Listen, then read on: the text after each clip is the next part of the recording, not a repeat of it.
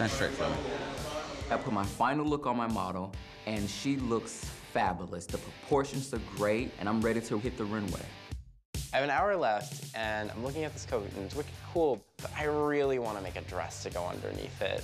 So I take bandages and make quite literally a bandage dress. Don't you love how you like went to hair and then I made a dress? Yes. Oh, work. I think Sam is in trouble. That jacket looks horrible. Shut it down. Hell yeah.